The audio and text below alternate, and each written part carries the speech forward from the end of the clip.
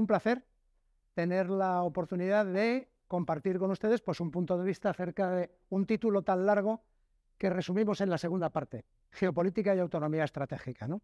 Referida en su caso, como ya en el round the table he visto que no son ajenos ustedes a cualquiera de las imágenes que aparecen en la entrada. ¿no? Así que como toda comunicación tiene un propósito, o debe de tenerlo, el mío es compartir una visión. Eh, dialéctica en todo caso, quiere decir, ustedes estarán o no de acuerdo y del desacuerdo sale más luz, evidentemente. Les propongo un índice porque para hablar de estas cosas lo primero es qué entendemos por ello, ¿no? ¿Qué es geopolítica y estrategia? ¿Qué es desde el punto de vista de la energía el entorno donde estamos? ¿Cuál es la distribución mundial de los recursos? Que se la conocen, pero probablemente no toda, y no cómo está mutando. ¿Cuáles son los principales países productores y consumidores? Aquí iremos rápido porque lo tienen en la cabeza. ¿Qué es lo que está pasando ahora? ¿Cuál es el futuro digital? Colonizadores y colonizados, superpotencias, riesgos y límites de la globalización y conclusiones. ¿Qué es la geopolítica? Eh, es una ciencia inicialmente que un geógrafo sueco, llamaba Rudolf Helen, funda en, en la segunda mitad del siglo XIX ciencia que concibe al Estado como un organismo geográfico o como un fenómeno en el espacio. Eh, es una definición bella, pero poco concreta. Así que cae en manos de un prusiano que se llama Haushofer, que hace una definición eh, más acorde con el cientificismo de la segunda mitad del XIX mezclada con el romanticismo alemán. Esto al final crea pesadillas que, como saben, desembocan en el nazismo es la ciencia de las relaciones de ámbito mundial de los procesos políticos. Está orientada a la acción. Proporciona los útiles para la acción. Define las direcciones. Arte de guiar la política práctica para obtener, conservar y proyectar el poder.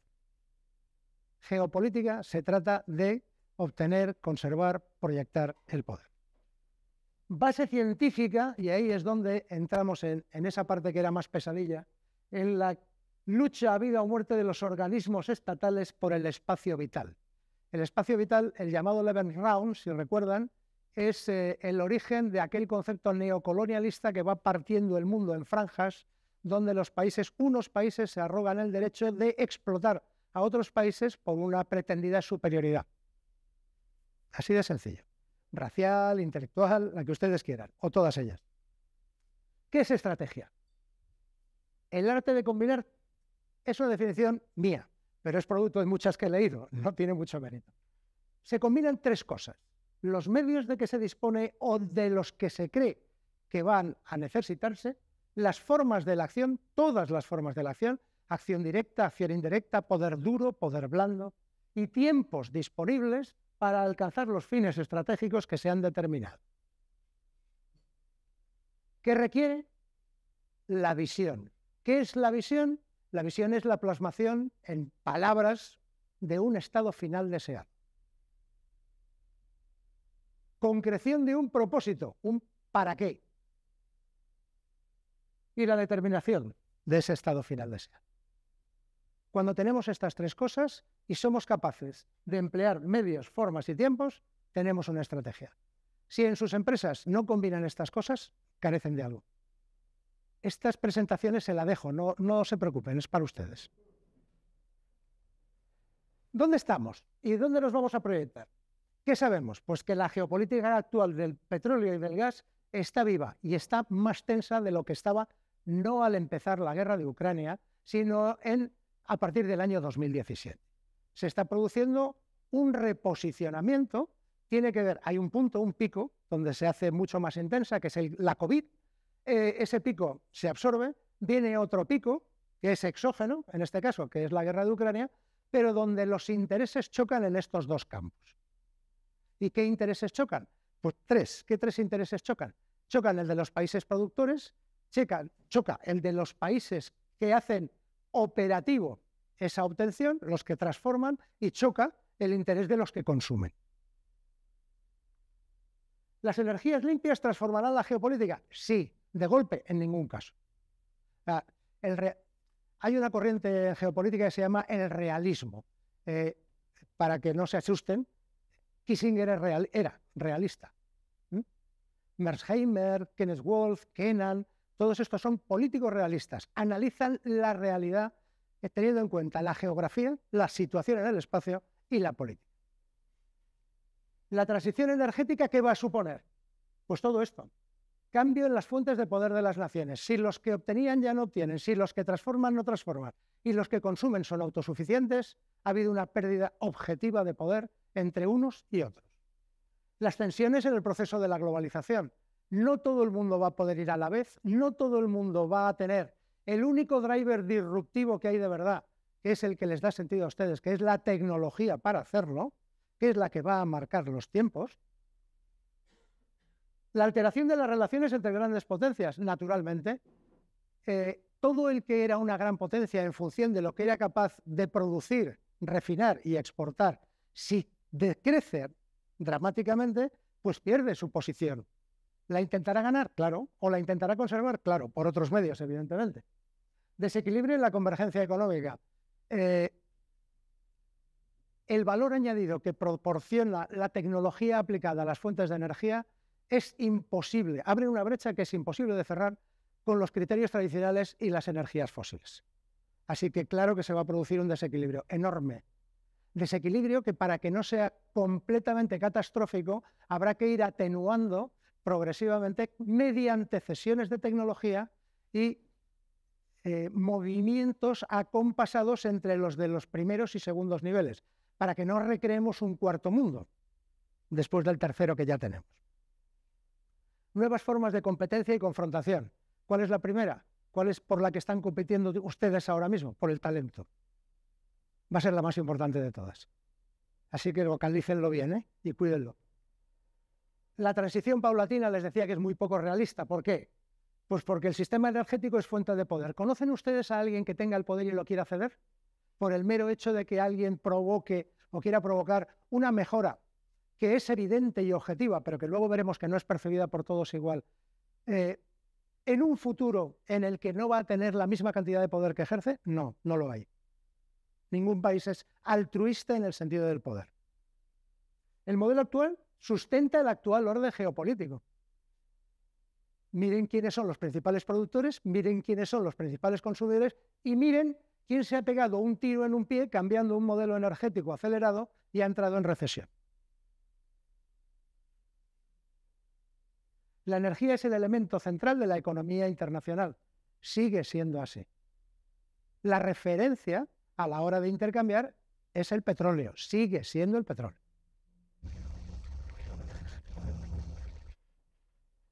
Una encuesta de estatista poco sospechosa de sesgo sobre qué es lo que más le preocupa a las personas en el mundo de lo que les está ocurriendo. Personas. La inflación, lo más importante. ¿Por qué? Pues porque, eh, eh, ¿qué es la inflación? El impuesto de los pobres. Los pobres son más pobres. Lo perciben en primera persona. La segunda, la pobreza y la desigualdad social. ¿Por qué? Pues porque la brecha social que la habíamos ido cerrando ad intra dentro de los países y ad extra entre países hasta 2007, desde 2007 hasta ahora, ha ido creciendo. Que crezca la brecha social tiene un impacto inmediato en la estabilidad y en la tranquilidad interna de los países. El turmoil, la alteración, se produce como consecuencia de la brecha. Parte de la polarización que están viendo ustedes en Estados Unidos y que es un factor de desestabilización global es producto de una brecha creciente fruto de la globalización. Los rednecks y los whitenecks. Crimen y violencia. Bien. Mm, eh, luego, cuando ven ustedes las estadísticas, esto es más leyenda urbana que, realidad, porque el número de crímenes se sostiene en países como España y en el entorno europeo, muy bajo, del orden de un 4 por, por cada 100.000 crímenes violentos. ¿eh? La sanidad, la corrupción política financiera, los impuestos. Miren ustedes dónde está el cambio climático. Fíjense, ¿cuáles de estos factores tienen que ver con un cambio de modelo productivo? Dos. Y miren en qué orden están. Ahora vean lo que los científicos, los, ¿saben ustedes que el foro de Davos, que el, que que el World Strategic Report, el Global Risk Report, es un producto del, del Foro Económico de Davos, el Foro Económico Mundial. Para ello se confecciona una estadística en la que se pregunta pues, a universidades, a think tanks, cuáles son los principales riesgos que observan en dos, en, dos plazos. ¿no? Se, se, pone el corto, dos años, y se pone el largo, diez años. La ciencia, la academia, en los think tanks ven algo que solo en el primer caso, solo en el primer caso, coincide con la ciudadanía. En el resto en nada. ¿Qué le pasa a las sociedades? ¿Con qué gafas miran? Para que, para que la sociedad impulsara decididamente un cambio de modelo productivo que lleva asociada una disrupción tecnológica con cambio en los hábitos de consumo, tendríamos que invertir las dos estadísticas, ¿no les parece? Luego hay un error gravísimo de comunicación. El alarmismo no es comunicar, informar no es comunicar. Comunicar es transmitir propósito, definir un estado final deseado y dejar abiertos canales de comunicación para la necesaria adaptación. Si no, es verborrea. Al turrón.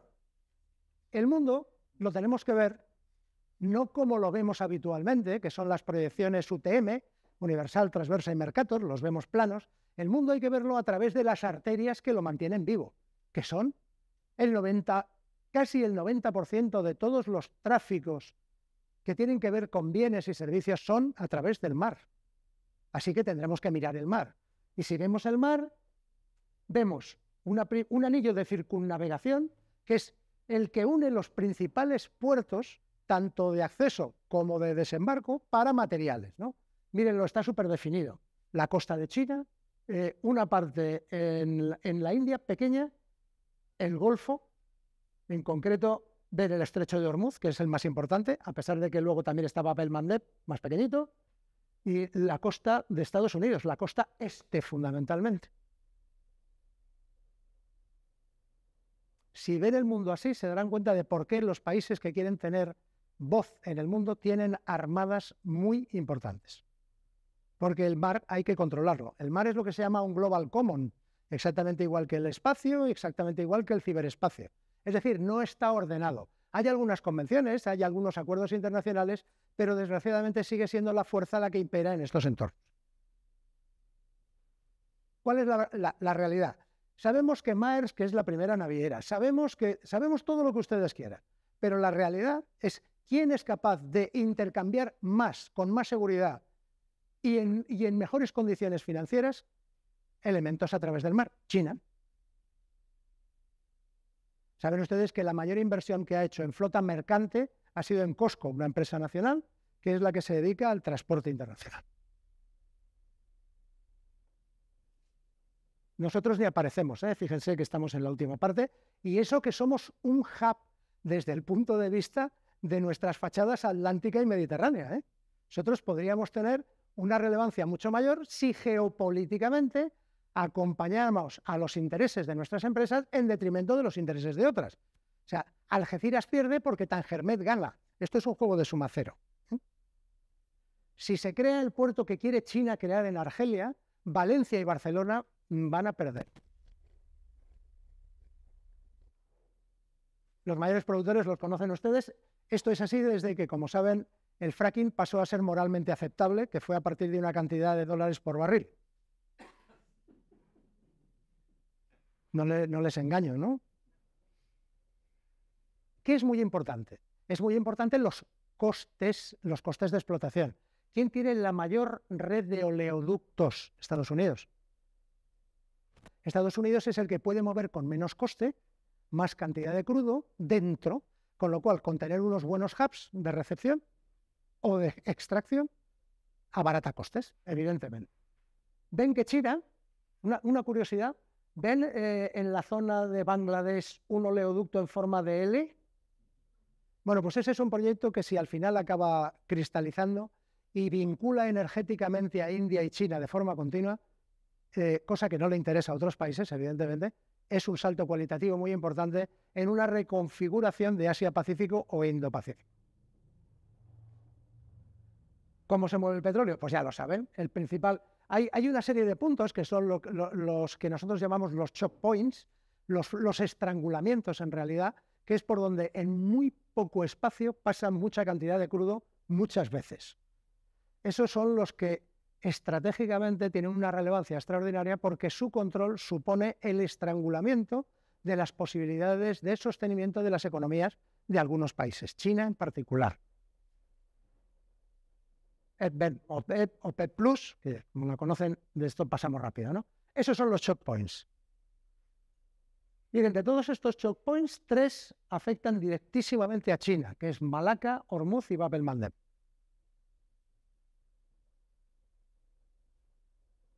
Luego, la preocupación estratégica de un país que depende mucho, no todo, porque como saben ustedes, China diversifica porque tiene, tiene estrategias con horizontes temporales, pues eh, si recuerdan, la primera fue China 2050 y la siguiente es China 2100.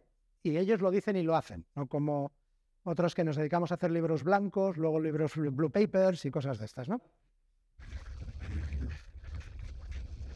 Gas. Bueno, pues lo mismo, ese gas también es de esquisto, que también es moralmente aceptable.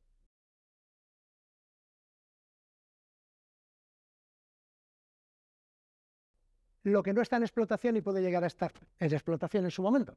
Bueno, pues ahí ven los yacimientos que hay en Vaca Muerta, ven la parte no explotada de Siberia, en fin, ven futuro futuro que no dejará de desarrollarse por el hecho de que haya un objetivo que sea emisiones netas cero 2050. Y luego verán por qué. Todos esos países, menos nosotros, desgraciadamente, bueno, ahí ven que en Cantabria amaga y el País Vasco amaga ligeramente con algo de capacidad, pero poca. ¿Quién es el que saca provecho de esto? Pues tienen que ir a de quién son las compañías que lo mueven pues ya saben quién es. Hay un gigante que está muy por encima de todos los demás, que es Aramco, que tiene, tiene, de, tiene de valor en bolsa más una vez y cuarto el PIB de España, en números relativos. Pero siendo importante Aramco, lo que es más importante es que vean ustedes Sinopec, Petrochina, porque son los que están refinando para Asia.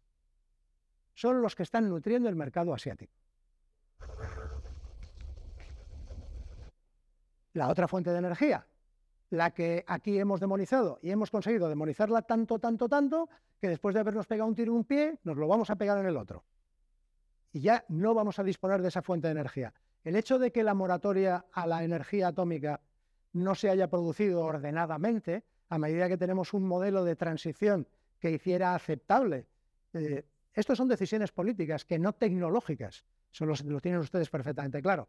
El hecho de perder relevancia en la energía nuclear es que los nuevos procesos con energías nucleares distintas no los vamos a coger tecnológicamente en el nivel adecuado, porque hemos perdido el saber hacer. O sea, eh, era así. O sea, ¿por qué es bueno alguien que fabrica coches desde 1910? Porque tiene un know-how que no tiene nadie. ¿Por qué éramos buenos nosotros en centrales nucleares? Pues porque eh, fuimos de los pioneros en su construcción y tuvimos desarrollos más que notables, ¿no? Bueno, pues ahora hemos decidido que no. Todos, no, todos no. China más 42 significa que las está produciendo y Rusia también está produciendo y además las está vendiendo fuera. Por ejemplo, a Turquía. La siguiente, solares. La solar tiene un límite, que es de perogrullo, pero hay que decirlo, el sol. Claro. Eh, fíjense, la línea, esa línea azul, azulona de poca producción, es casi casi la de los consumidores de cerveza, los herejes. Claro, ¿por qué?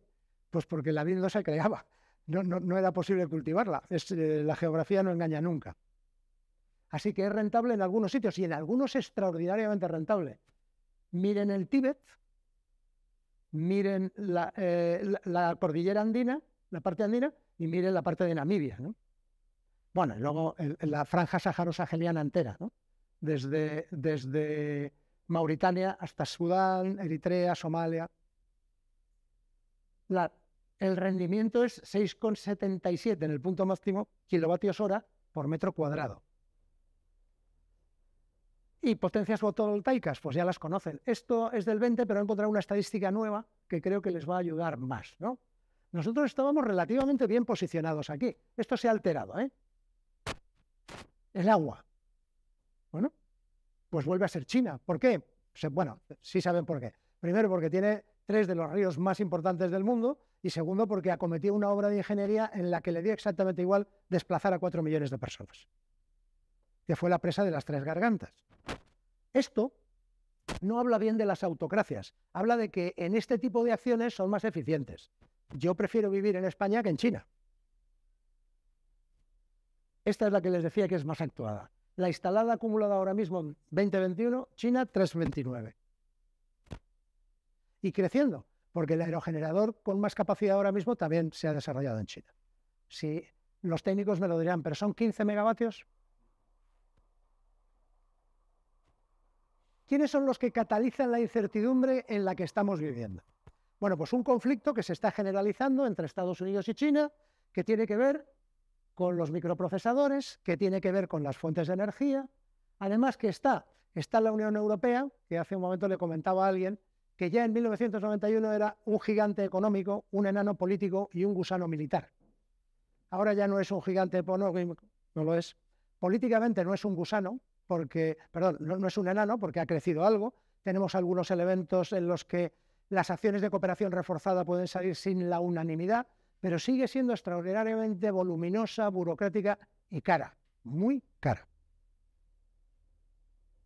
¿Sobrevivirá la Unión Europea a un conflicto de carácter global que no se dé en Europa y que exija el alineamiento con uno u otro?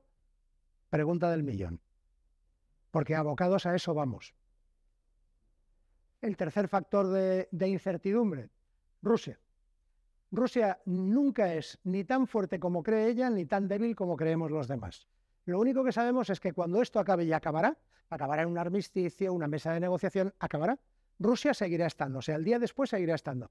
Y lo que es más importante es que a Rusia la necesitamos todos, todos, por lo que es capaz de producir, por las reservas que tiene, porque intelectualmente ha tenido gente brillante a lo largo de la historia. Estamos hablando de un régimen ahora mismo gobernado por un es nepotista, por un autócrata de libro y, con, unas veleidades imperialistas claras. ¿no? Pero la historia de Rusia es otra y el trasfondo político de este conflicto hay que verlo mucho más despacio de lo que ahora mismo eh, podemos hacer en el tiempo del que dispongo y en el que los medios de comunicación le dedican. ¿no? Y por último, ¿hasta dónde va a llegar el enfrentamiento? Ahora mismo hay un casus belli, artificial, que es Taiwán la historia de Taiwán, Formosa, la conocen, es la isla a la que cuando pierde la guerra civil el Kuomintang, Chiang Kai-shek, en 1949, coge a lo que queda de la fuerza, la embarca y la lleva a Taiwán, que es China. Nunca ha dejado de ser China. Eh, se va produciendo el, afianzamiento del Partido Comunista. Taiwán recibe, naturalmente, es la época del, cordón sanitario, el telegrama, un telegrama largo que produce un embajador de Estados Unidos en Rusia, que se llama Kennan, George Kennan, que dice que hay que crear un cordón sanitario alrededor de Rusia y sus aliados, en este caso China, que lo era en aquel momento. Y Formosa, Taiwán, queda del lado de la influencia geopolítica de China, ¿no? de Estados Unidos. Desde entonces el apoyo decidido. El canal, lo que se llama el canal de Formosa, 180 kilómetros, pues separa China continental de Taiwán. Taiwán tiene que pues tiene una superficie mediana, tiene una población no demasiado numerosa, pero tiene un, régimen político-económico que es muy apetecible, porque además tecnológicamente se ha desarrollado mucho y es el principal productor ahora mismo de microprocesadores. TSMC, la conocen ustedes. ¿Chocarán China y Estados Unidos en el estrecho de Taiwán? Si es por China, no. China tiene una cosa que se llama paciencia estratégica piensa en, periodos temporales que no se parecen en nada a los nuestros y piensa en situaciones finales que tampoco concuerdan con las que nosotros queremos. China cree en un concepto que se llama el desenvolvimiento, cómo los hechos se van desarrollando en función de una serie de acciones que vas, que vas proporcionando, alimentando esa situación, pero de forma indirecta. Estados Unidos eh, normalmente es más asertivo, ¿no? va más a la acción frontal. Esto se llama el hard power. las, las organizaciones internacionales, etc. Bueno, pero ¿esto cómo se sostiene? Pues miren, hay dos formas de convencer a alguien, o por la razón o por la fuerza. Esta es la B. Esto es como se interpreta cuál es el papel que cada uno quiere desarrollar en el mundo en función de la capacidad de proyección de su política exterior. La capacidad más notable de proyección de la política exterior, además de la política de alianzas, es la fuerza. Estados Unidos gasta aproximadamente la mitad que todo el resto del mundo. Esta es la OTAN, para que se hagan cuando, cuando hablamos de la OTAN, hablamos de la OTAN, efectivamente, estamos hablando de 30 países, incluido Montenegro, en los que tienen ustedes que ver, pues, eh, cuál es la proporción del gasto en función del PIB. Eh, es, un número de referencia en función de que lo que se quiere mostrar es el esfuerzo que cada país hace proporcionalmente a su Producto Interior Bruto, pero es muy poco relevante. Que el hecho de que, eh, por ejemplo, Grecia gaste el 3,76% de su PIB, pues en números habla de otra cosa, en números reales, en euros constantes. ¿Cómo ejerce el poder Estados Unidos? Pues porque esto no es frecuente que lo conozcan, no tienen por qué conocerlo, pero Estados Unidos tiene estratégicamente dividido el mundo en mandos, de tal manera que cada cosa que pase en cualquier punto del mundo le corresponde analizarla desde el punto de vista del empleo de la fuerza a un mando estratégico de Estados Unidos que tiene plena autonomía, que tiene lo que se llama la capacidad conjunto combinada. Puede emplear todo lo que tiene y además puede invocar algunos de los artículos a través del Departamento de Estado de, acuerdos internacionales como el Acuerdo del Atlántico Norte, ¿no? La OTAN, el Tratado del Atlántico Norte. Bueno, pues estos son directos, en gasto directo 883.000 millones de dólares este año y gasto indirecto otros 450.000 más es decir, un poquito menos que el PIB de España, es el gasto de defensa de Estados Unidos. China tiene interés, claro. ¿Se acuerdan de los choke points que les he enseñado? El estrecho de Malaca, Babel Mandeb, Bormuz. ¿Se acuerdan? Bueno, pues esta es la forma en la que quiere proteger sus intereses.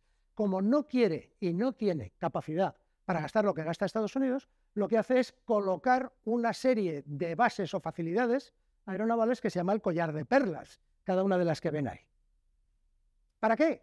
Pues para tener puntos de apoyo en los que desplegar su flota, desplegar un componente aeronaval importante y, llegado el caso, defender sus intereses.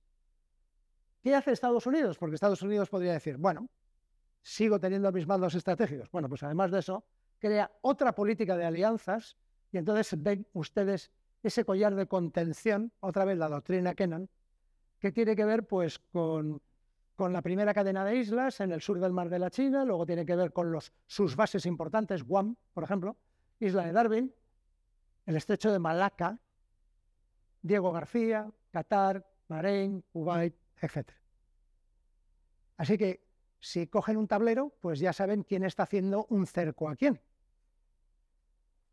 Cuando hay mucho hierro cerca, se puede producir un choque innecesario, eh, inconveniente en todo caso. Siguiente factor que es muy importante para lo que ustedes manejan, población.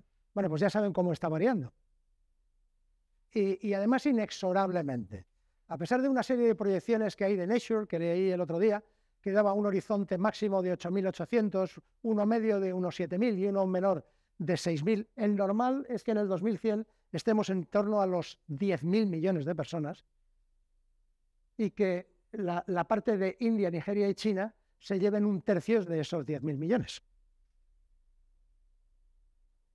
¿Ven ustedes algún país europeo? Luego, el invierno demográfico es importante. ¿Y dónde van a vivir? Pues salvando Nigeria, ahí.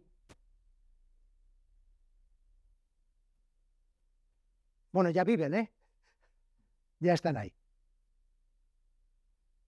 ¿Hacia dónde van los recursos? Hacia dónde va la gente, hacia donde se necesitan consumir.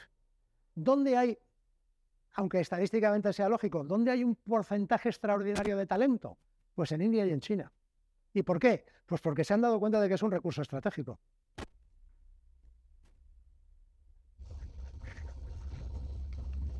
¿Dónde nacerán los próximos mil bebés? Es decir, ¿cuál es la tendencia? Pues la misma, Por una parte, esto es más chocante si ven dónde van a nacer en Asia y dónde no van a nacer, que es en Europa. Eh, es más dramático de lo que parece, porque eh, este concepto que se emplea de una forma muy voluntarista, que es el de acudiremos a la inmigración. ¿A qué inmigración?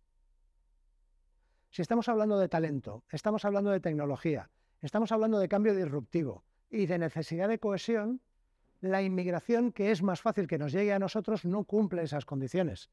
Podríamos llegar a pensar, inteligentemente si lo fuéramos, que hay que formarlos en origen y hay que hacer una distribución equitativa para poder sostener su crecimiento allí y traer una parte aquí. Pero eso significa una especie de plan Marshall a lo bestia de Europa en los países que son una fuente neta de producción para la inmigración. Estamos hablando de Mali, siete hijos vivos por mujer, Níger 6,7, Nigeria. Pero esto que les digo no se hace.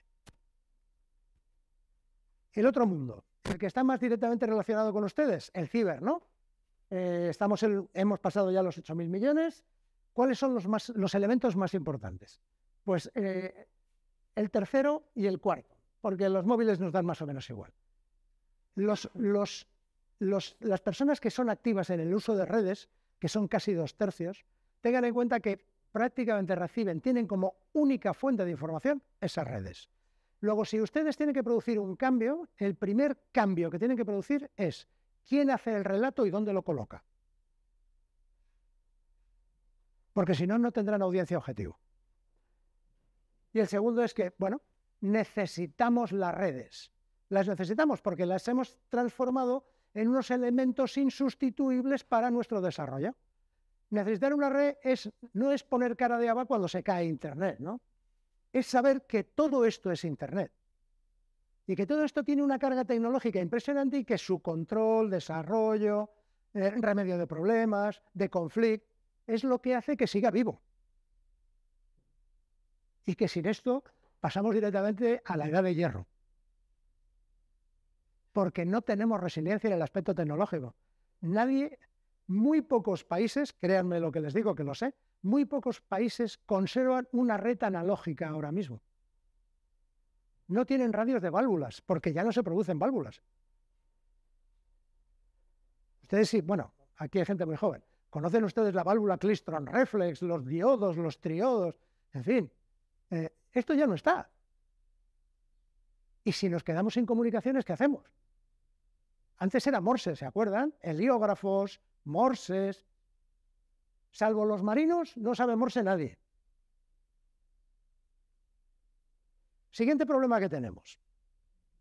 Estamos en el cambio climático y el cambio climático es una realidad. No es ni voluntarista ni alarmista, es lo que es. El estrés hídrico para el 2040 es ese, lo que significa que todos los que estamos en rojo extremo y los incluimos tenemos déficit hídrico importante. Luego, una de las líneas tecnológicas más valoradas será la del aprovechamiento eficiente del último recurso hídrico que exista. Los modelos de depuración, de reutilización. Y tengan en cuenta que parte de las energías renovables que estamos pensando se basan en el agua. Así que cuidado. La energía, ¿saben ustedes quién es el principal consumidor de energías fósiles hoy? Luego les recomiendo un libro. El agro, la comida. ¿Alguno de ustedes sabe cuánto gasoil gasta una barra de pan de un kilo? ¿Saben cuánto gasoil cuesta fabricar un kilo de pan? 400 mililitros. ¿A que no lo habían visto nunca así?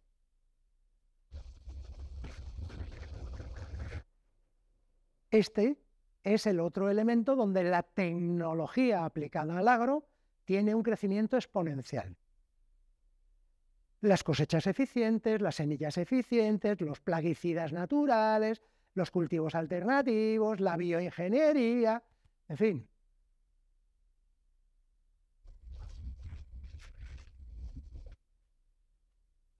¿Qué nos mueve ahora? Pues esto, nos mueven los, pequeños bugs, los chiquitines.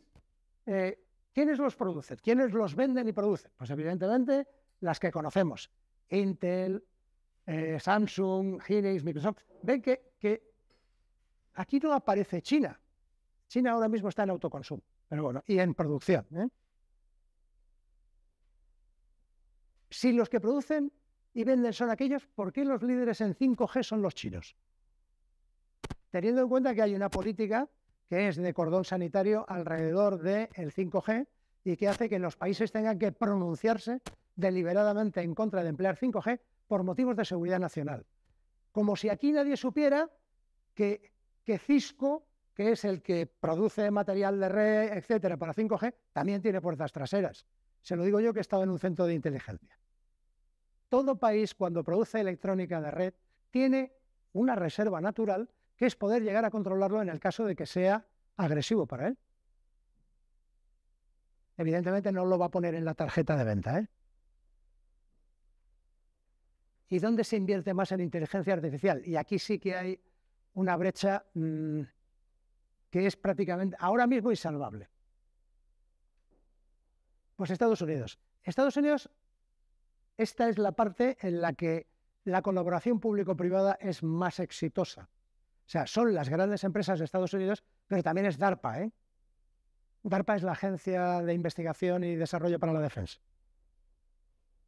También es donde se están haciendo más ensayos eh, dirigidos a, a proporcionar autonomía en el campo de batalla. Este es un tema un poco delicado.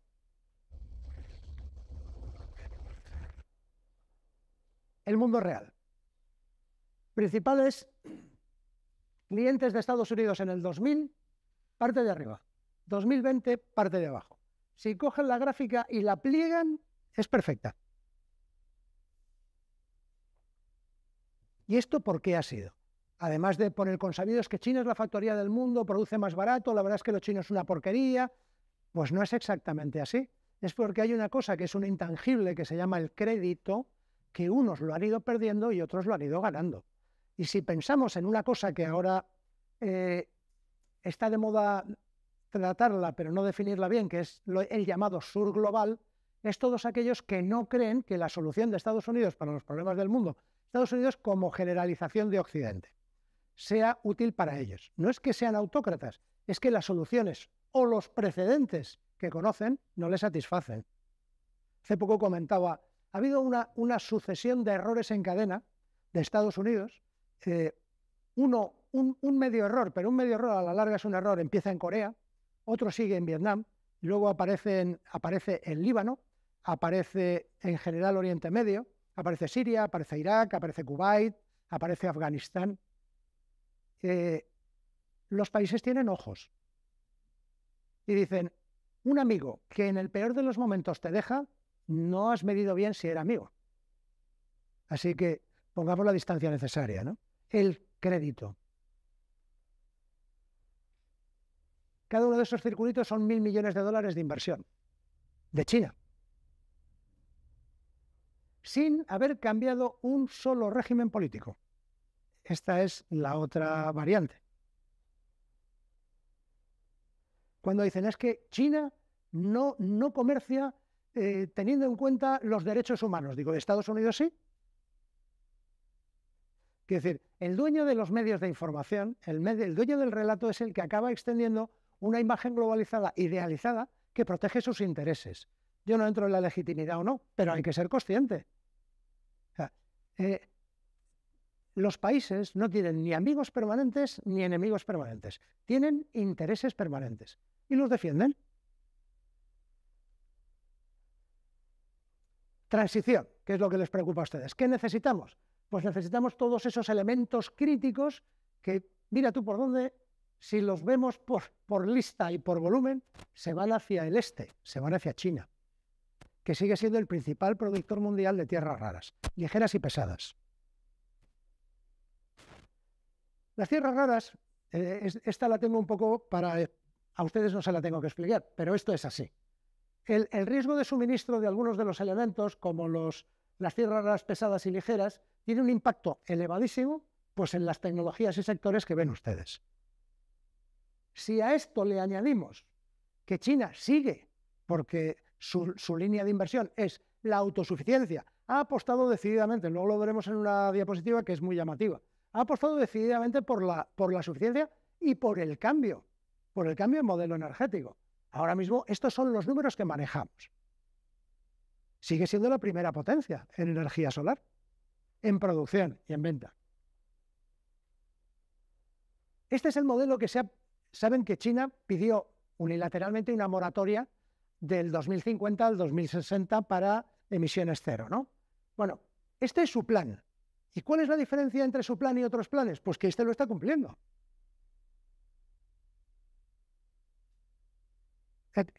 Literal, como la vida misma. Además tiene una ventaja añadida y es que como los demás hemos decidido que el subrogar tareas que son complejas o que son contaminantes es muy rentable políticamente, pues hemos dejado que China haga el refinado de todas esas cosas. Luego el know-how de cómo se hace eso lo tienen ellos. Y la capacidad de romper los cuellos es suya. ¿Quién se ha garantizado la transición tal y como la plantean ellos? Ellos. Los demás estamos buscando mecanismos alternativos para hacerlo. Bueno, vamos acabando. Las superpotencias que se crean, que es la tecnología el factor disruptivo para este cambio, tienen una ventaja importantísima y es que van a establecer los estándares por los cuales se van a juzgar los productos, van a establecer las especificaciones técnicas que tienen que cumplir y van a, y van a dar una reglamentación, las normas físicas y las digitales que tienen que cumplir. Ventaja que proporciona, pues evidentemente la ventaja competitiva en infraestructuras y las normas de las UNES. La energía nuclear, que la vamos a tener que seguir utilizando esto lo dice la Agencia Internacional de la Energía. Tenemos que duplicar la producción de energía nuclear de aquí hasta 2050 para poder producir la descarbonización que queremos. ¿Hay alguien que políticamente sea capaz de aceptar esto en la Unión Europea? La Agencia Internacional de la Energía, saben ustedes que se funda después del primer crack eh, que tenemos con motivo del petróleo, en el año 1972. Y son países tan poco sospechosos como Estados Unidos, Canadá, Japón, Claro. ¿Quién produce nuevas centrales nucleares? ¿Quién se cree esto? Pues China. Eh, cuando ven 72, 50, 22, lo que significa es que las nuevas centrales nucleares que se construyen son 72 las que se están construyendo ahora, 50 son de China, 20 son de Rusia y 2 son de Estados Unidos. Lo que les he explicado de China el que establezca los estándares, el que tenga los medios, controla la cadena de suministros y además su producción, claro. La tecnología tiene ese factor disruptivo y en el momento en que es, es económicamente viable, lo que hace es ser competitivamente inalcanzable. Producirá, claro, producirá menos coste. Producción y exportación de combustibles bajos en carbono, basados inicialmente en el hidrógeno y el amoníaco, y algunos de esos países de la península arábiga y de, y de esas zonas tan complejas que son petroestados, pasarán de petroestados a electroestados, porque energía solar tienen, gasto para invertir tienen y agua tienen. ¿Qué riesgos tiene la transición? el tiro en el pie que nos pegamos si empezamos a dejar de utilizar determinadas fuentes de energía por el hecho de que contaminan. Si no hacemos un buen plan de transición, estresaremos los modelos productivos y empezaremos a tener un rechazo creciente a lo que se está produciendo, porque costará más y obtendremos menos. Las personas, las personas las que consideran que lo más importante en este mundo es la inflación, que es lo que les afecta, van a seguir considerándolo, no van a cambiar de opinión. Luego percibirán negativamente el proceso. El nivel cero implica un 50% del uso de gas natural que usamos ahora y todavía el 25% del petróleo. ¿Qué contrasentido si es consumo cero? No, porque tendremos que tener industrias de captura de dióxido de carbono, que es otra de las líneas de desarrollo tecnológico que van a ir creciendo la volatilidad de los precios llevará a una transición dura, naturalmente. No seremos capaces de controlar los precios y no tendrá que ver con conflictos externos, tendrá que ver con la presión que estamos metiendo a determinados países porque no les subsidiamos la producción por el hecho de que es, eh, eh, es de combustibles fósiles. Estados Unidos ya lo está haciendo. hasta que no lleguemos al cero neto, los exportadores de gas y petróleo ganan peso. Ganan peso, objetivamente. Influyen más en la economía y en el mercado. Ya estamos en el escenario. Mayor dependencia de la, electricidad, de la electricidad. ¿Qué significa? Si decíamos que era el comercio del petróleo y del gas el que daba esa sensación de homogeneidad al mundo a través del mar, el de la electricidad no es así. Luego vamos a tener serios problemas de comercio global. El transporte de la electricidad. La energía limpia contribuirá al proteccionismo. India ha puesto aranceles a los paneles solares chinos. Estados Unidos ha puesto aranceles a los paneles solares chinos. Algunos de, los elementos asociados a la eólica también tienen aranceles. Eh, ¿Qué es lo que acaba produciendo? Proteccionismo. Esta competición, que es la que ya estamos viviendo, por el talento, por los suministros, por los mercados y por la normativa. Competición creciente. Y empieza por el talento. Podemos caer en el error, eh, otra vez en el del club de los chicos blancos y el club de los chicos negros. En este caso, los que no son productores de dióxido de carbono y los que sí. Esto lo único que hace es incrementar esa brecha que se abre entre unos y otros y producir más rechazo. Eh, les pongo haciendo tabla rasa del pasado porque el 25% del dióxido de carbono que se produce en el mundo lo produce Estados Unidos. El 20% lo produce China y Europa, el otro 20%. Y el 2% África. Y ahora resulta que vamos a sancionar a África porque para alcanzar los modelos de desarrollo en los que nos encontramos nosotros, tiene que utilizar energías fósiles. Muchos contrasentidos. ¿no?